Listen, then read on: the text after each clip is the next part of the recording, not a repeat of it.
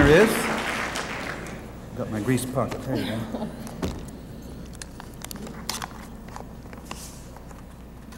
Diana Ross. Doing Lady Sings the Blues was a big thrill for me, but I think I must give all the credit to our creative department, who is headed by Suzanne de Passe.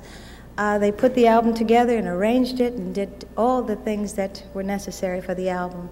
And I do thank them and thank you for voting me for this.